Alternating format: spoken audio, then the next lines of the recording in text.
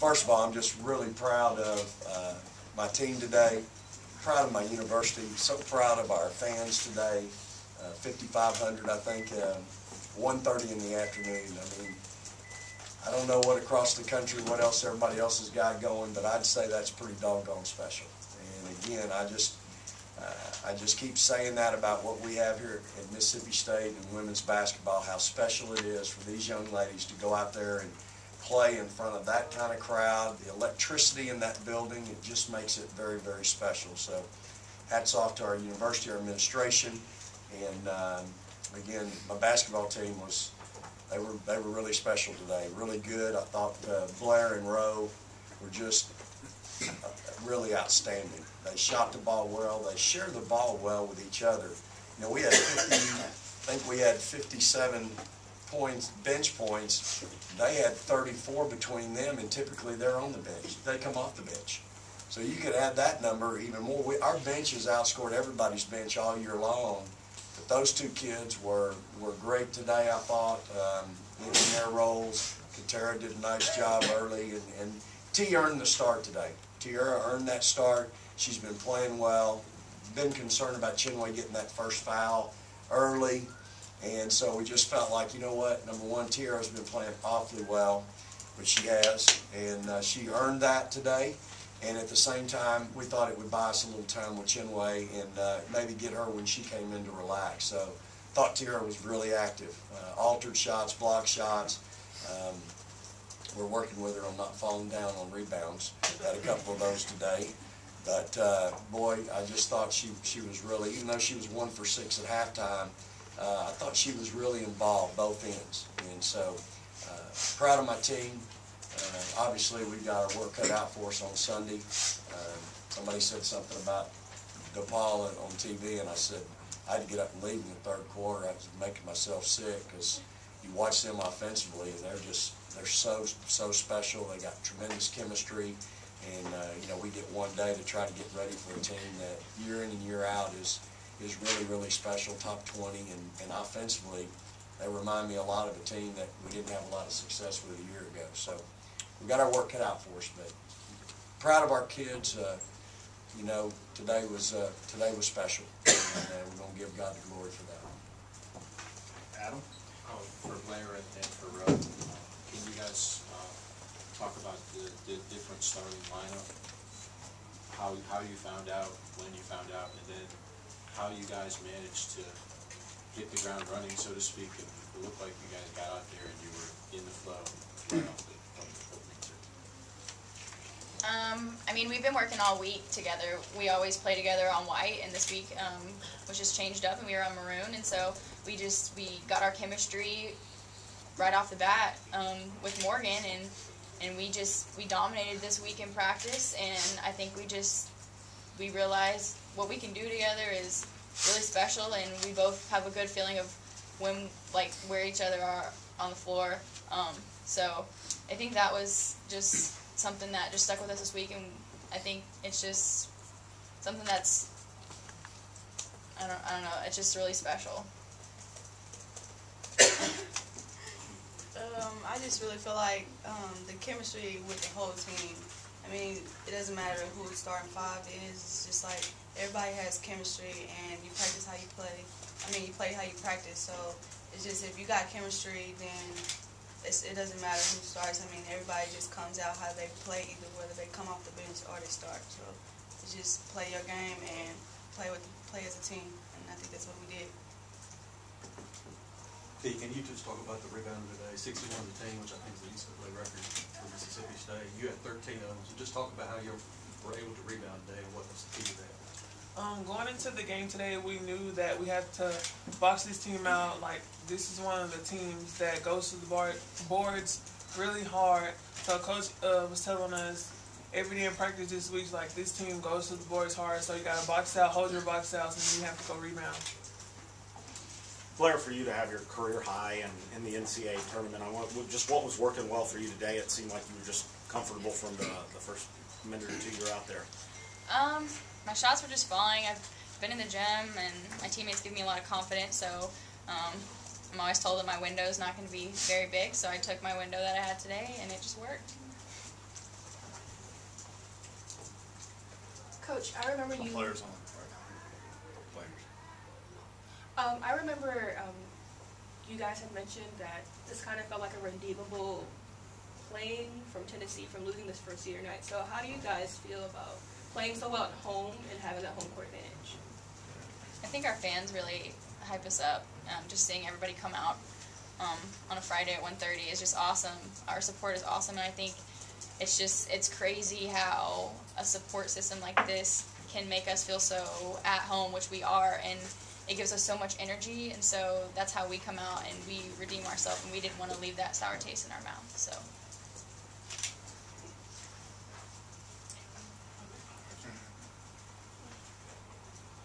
Oh, would- would- did you want Rhoda? Oh, okay. Well, I just feel like, you know, you have to give credit to the fans for one, because just coming out and it's 1.30 I mean, it just shows how big our support system is here, and just knowing that, I mean, we gotta play hard, like, we left it bad when we, when we left, so we know we had to redeem ourselves and come back, and he always say, you know, like, we want to give our seniors another senior night, and I felt like we came out and we played, and we knew this was we didn't want us this to be the last game, so we had to come out hard.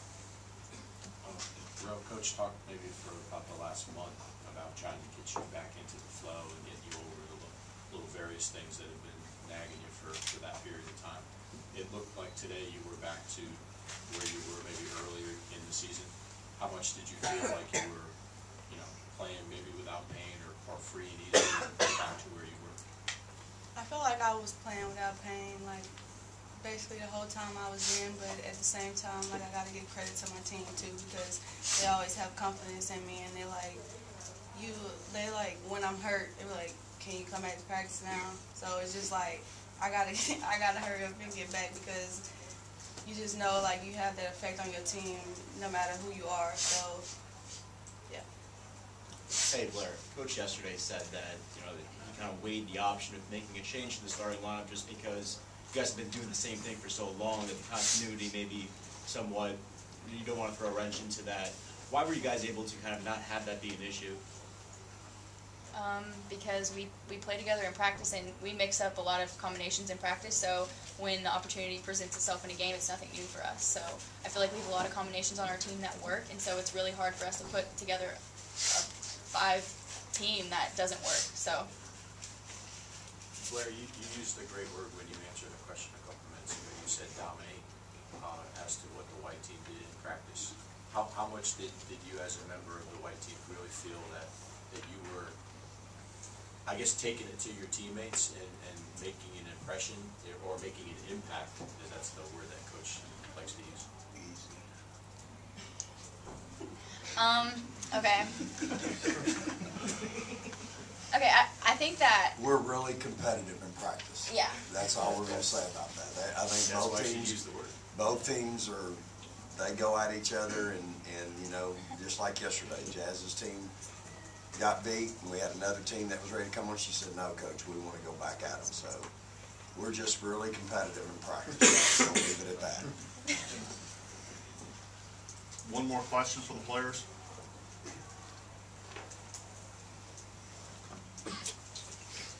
I'll, throw it to anybody that wants to take it. We'll, we'll see who steps up. Uh, they did have some runouts, and you knew that they would, and they'd throw the ball on top.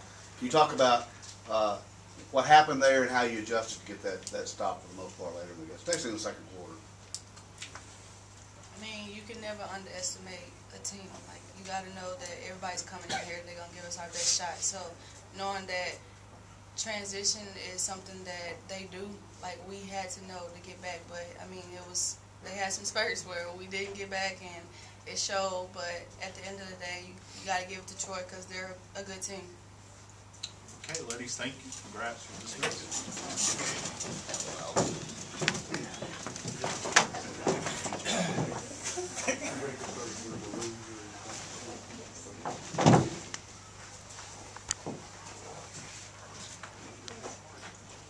Okay, let's start with you.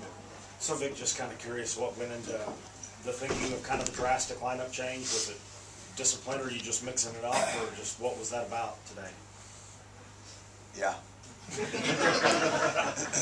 Did it have its desired effect? It did. We had a great, uh, obviously, it was, uh, it worked fine, and, uh, you know, we'll just, we just keep it at that. And I, you know, it, it's, uh, it's one of those things, you know, there's so much that goes into, um, putting yourself in this position. So much, you know, there's so many people that have paid such a price, the blood, sweat, and the tears, the, the time, the commitment. And you get to this point in the season, um, you certainly want to make sure everybody's focused and where they need to be. And, um, you know, I was really proud today of my team. Uh, you know, Rowe and Blair have been doing it all year.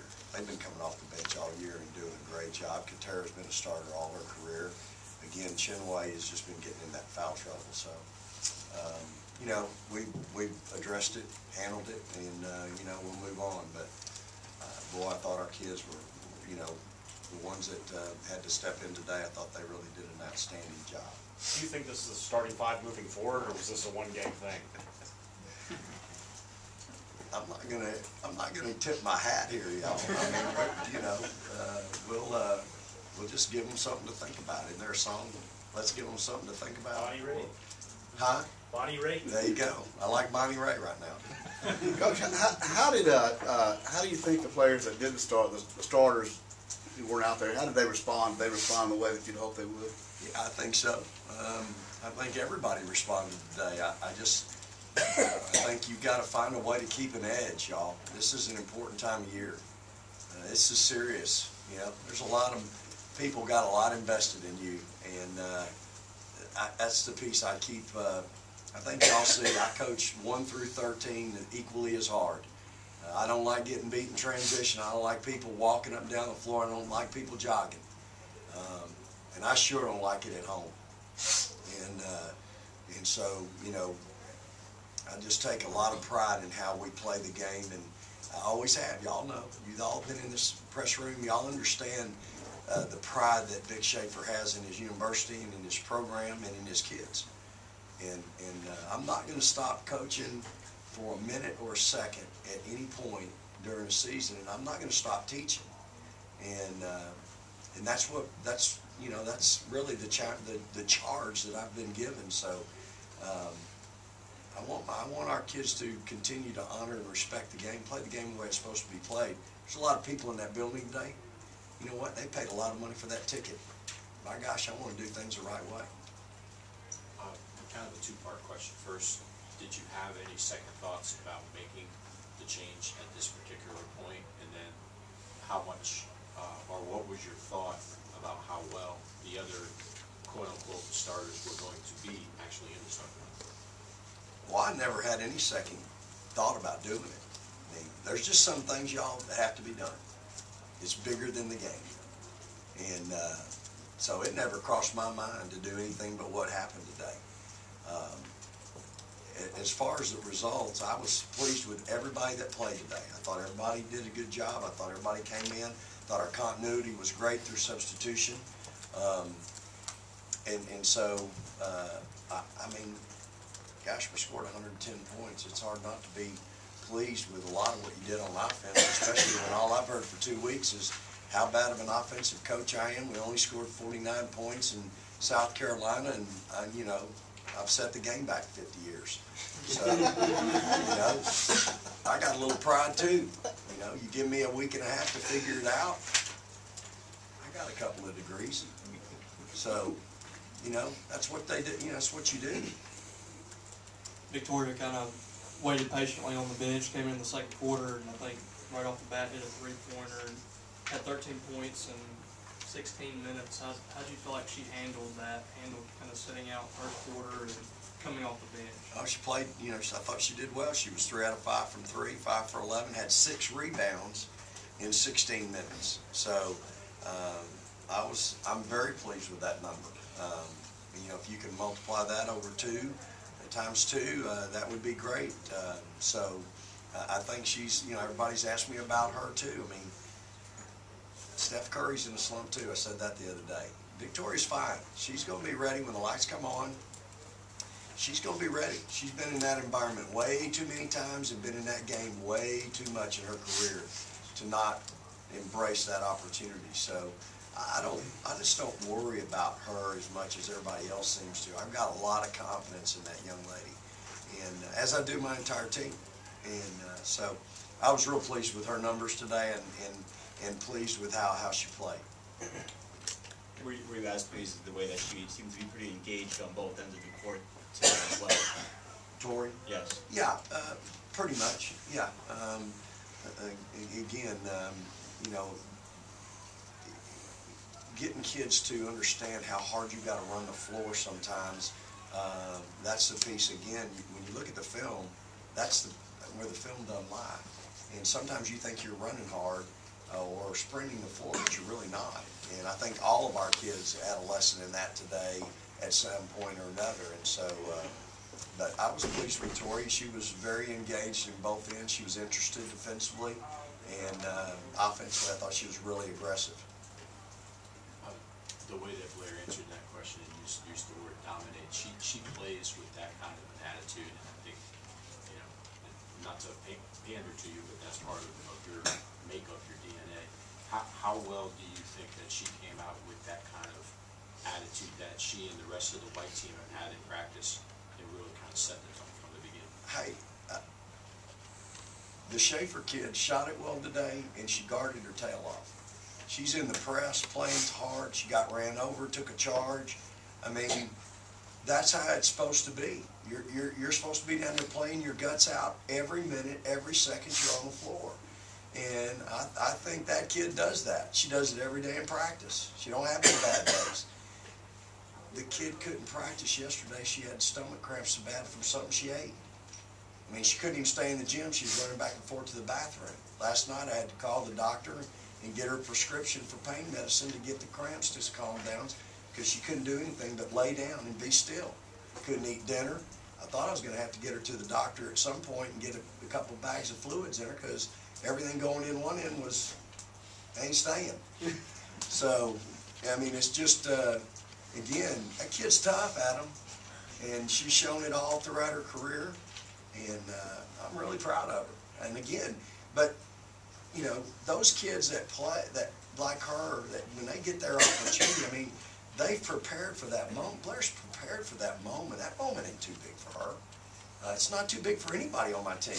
Heck, Amisha Williams today had 15 points in nine minutes. Uh, you know, she hasn't played a lot. Maybe she needs to play more.